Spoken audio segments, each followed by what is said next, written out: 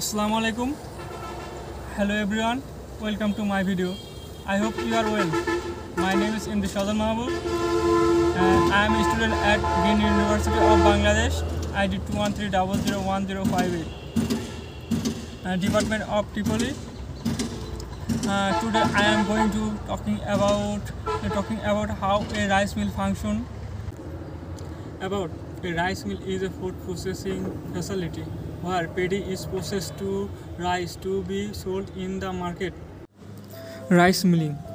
The objective of a rice milling system is to remove the husks and the bran layers from the paddy rice to produce the whole white rice kernels that are the sufficiently milled, free of the impurities, and contain a minimum number of uh, broken kernels.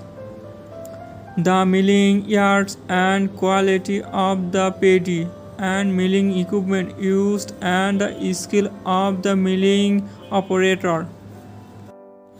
Commercial mill The milling process is the larger commercial mills combines and a number of operations that produce the higher quality and higher yields of white rice from paddy or rough rice. The process is involves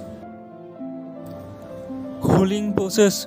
The paddy is pre-cleaned again and destonated by a pre-cleaning machine. After the cleaning, the paddy is moved to the husker called the sheller, the outer covering of the paddy. The husks is removed here and is used as a fuel for the boiler. The whole rice is collected from the sheller and moved on the whiter. Rice dryer. The boiler wet paddy is dried in a food grade stainless steel paddy dryer using hot air. The heat energy for the dryer is generated using a heat exchange that uses steam.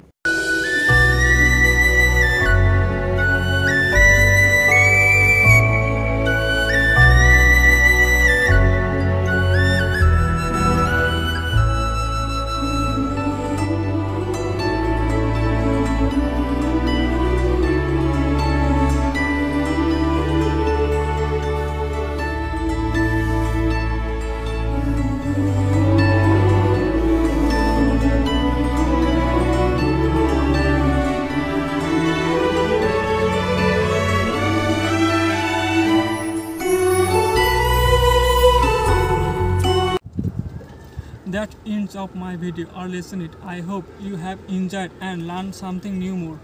Thank you for watching my video